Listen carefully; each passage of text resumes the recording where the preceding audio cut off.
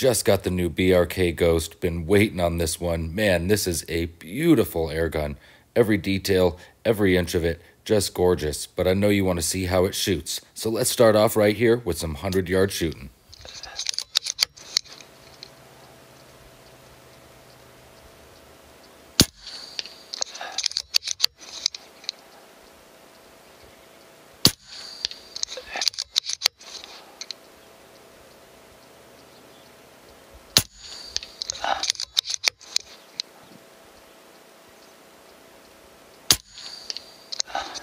Once I had the scope dialed in, brought it down here, wanted to put them all on this little red square, but ended up shooting that for a group.